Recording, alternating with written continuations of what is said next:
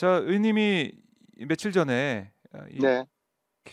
시민단체가 뭐 교육 사기 사건이하고 이 김건희 씨 허위 경력 의혹에 대해서 뭐 고발을 했고 그런 상황인 가운데 교육위 의원들이 함께 기자회견을 했잖아요. 네. 어, 기억에 남는 게 바로 이 김건희 재발 방지법. 의원님이 발의를 지금 하신 건가요? 할 예정인가요? 아, 이미 발의했고요. 발의하셨고요. 네, 어떤 내용인가요? 네. 제가 말씀드렸듯이 이번 대선은 김건희 대선이다 말씀을 드렸잖아요. 네, 제가 몇 년 전에 김건희 씨를 처음 봤을 때 음, 그때 제가 아, 저희 느낌이 묘했고 네, 기분이 굉장히 불쾌했고 불편했거든요.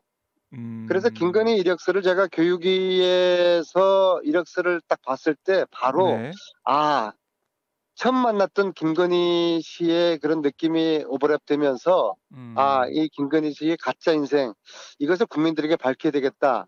그래서 국정감사 때부터 한 두 달 동안 제가 이 문제를 음, 어, 한번 캐본 거거든요. 예, 네. 그래서 이 문제는 뭐 김건희 씨의 허위력이 본질적인 문제가 아니라 음, 이 문제를 대하는 윤석열 후보의 공정의 문제예요. 윤석열 후보는 음, 대한민국을 공정한 사- 세상을 만들겠다고 그 명분으로 그걸 무기로 해서 네, 대통령 후보로 나선 분 아니겠습니까? 근데 음. 부인이 이렇게 허위 이력으로 가짜 인생을 살아왔는데 거기에 대해서 윤석열 후보가 대하는 태도가 너무나 실망스러운 거 아니겠습니까? 네, 그 자체 주장을 가짜라고 그러고 허위라고 그러고 뭐 결혼 그렇죠. 전이라고 그러고 네, 결혼 후에도 버젓하게 뭐 10건 이상의 허위 이력 그것을 어, 활용을 했는데요. 음, 음, 그리고 지금은 뭐 법적으로 문제가 없다.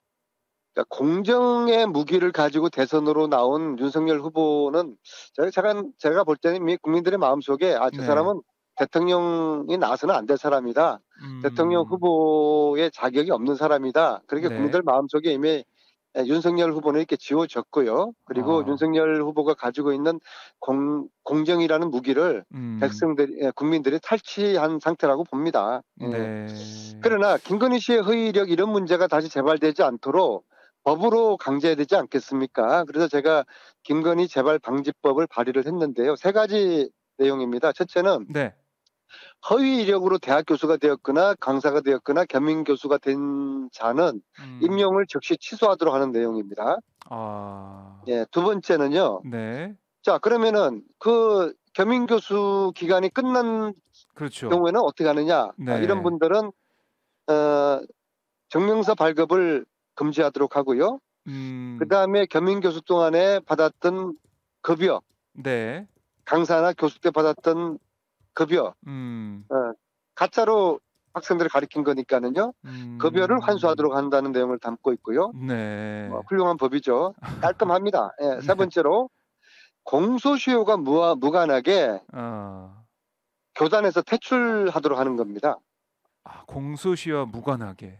네, 이것도 뭐. 깔끔하죠. 예. 네. 왜냐하면 학생들에게 양심 없이 양심 없는 자가 하- 어떻게 학생들을 가르칠 수가 있겠어요? 음, 어, 교육은 정말 신성한 것인데 네, 자기 이력을 속이고 학생들을 가르치는 자 아, 어, 이런 자들은 적발되면은 이후에 다시는 교단에서 서지 못하도록 음, 퇴출을 시켜야 되는 것이죠. 이렇게 세 음. 가지 내용이 담고 있는데요. 네, 제가 18년 국회의원 하면서 네, 에, 가장 좋은 법이라고 저는 자부합니다. 그래요. 그렇게 많은 법을 발의해 오셨을 텐데 그 중에서도 가장 좋은 법이다. 어, 그만큼 대한민국 공정의 음. 문제를 흔드는 이런 네. 허위 이력 문제는 네, 엄단해야 됩니다. 아, 아, 네. 청년들이 이력 썼을 때 숫자 하나 틀리지 않으려고 음,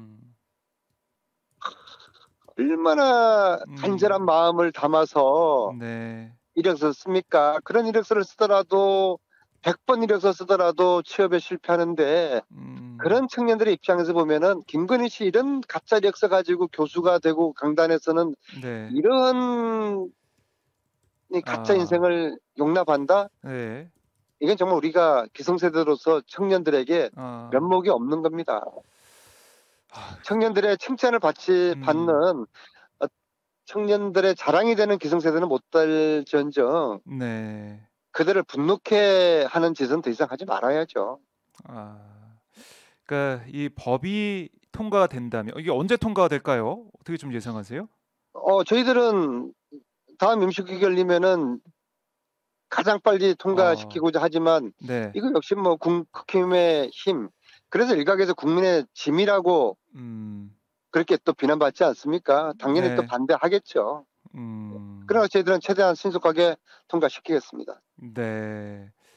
참, 이 김건희 씨의 이 허위 이력 관련해서 뭐 사실 어떻게 보면은 이 조국 교수, 어, 조국 장관 당시에 이제 정경심 교수 그때와 좀 비교도 좀 많이 되고 있어요. 그 당시 어, 조국 전 장관의 그 수사가 진행될 때 청년들이 많이 또 분노를 하고 어, 촛불 집회도 하고 이렇게 하면서 여러 가지 목소리를 냈었는데 이번에는 그렇게까지 물론 여기에 대해서 지적하고 비판하는 목소리 있습니다. 있지만 그때보다는 좀 목소리가 작은 것 같기도 하고 또 보도도 잘 안 되는 것 같고 이런 것들은 좀 어떻게 보십니까, 의원님은? 뭐 언론에서도 제가 볼 때는 네. 뭐 에, 당시에 조국을 때리는 거에 반의 반도 음, 다루지 않고요. 그 다음에 수사 수사 당, 당국에서도 네, 조국 수사 때의 한 10분의 1도 지금 지금 안 하고 있는 것 같아요. 그러니까 조국의 네, 뭐 반의 반은 고사하고 한 10분의 1이라도 하라 이겁니다. 이게 시민들의 음. 목소리고요. 특히 윤석열 후보의 태도가 검찰총장 출신으로서 네, 수사에 가이드라인을 주고 있어요. 법적으로 문제가 없다. 음, 검찰총장 출신이 이런 얘기를 하는 건 아니죠. 오히려 제가 윤석열 후보 입장이라고 그러면은 네, 단 한 치의 문제가 음, 음, 있으면은 처벌하라. 네. 예? 내, 내 부인이지만 잘못한 거 이런 허위 이력 용납할 수 없다. 아, 예?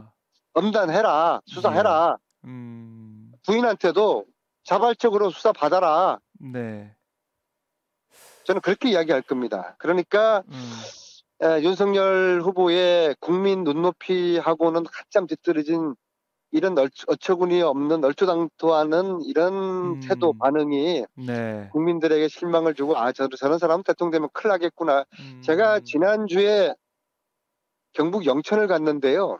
경북에 예, 영천 영천에서 이제 거기서 이제 시민들 만나고 당원들 만났는데요. 음, 어떤 분이 그런 얘기를 해요.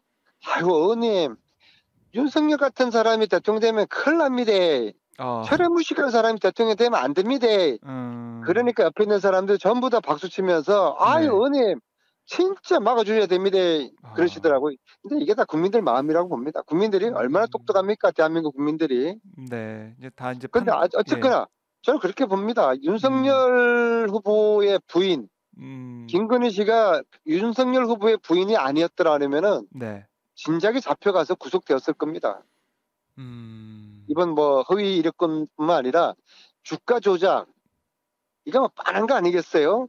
음, 도이치모터스 주가 안 되고 조작했다고 예, 김건희 씨 돈으로 주가 조작했다고 여- 다섯 명이 지금 구속돼 있는 거 아닙니까? 음, 주가 조작한 선수들은 구속돼 있는데 정작 돈을 준 돈을, 물주는 음, 전주는 구속되지 않았어요. 네, 국민들 다 알고 있는 겁니다. 예? 음, 그래서 그런, 국민들을 음, 국민들을 바보로 알고 있는 거예요. 그래서 음. 정말 화가 나는 겁니다. 사람이 잘못할 수 있어요. 실수할 네. 수 있어요. 아, 그러나 반성을 해야죠. 음, 그래서 국민들이 국민들이 아마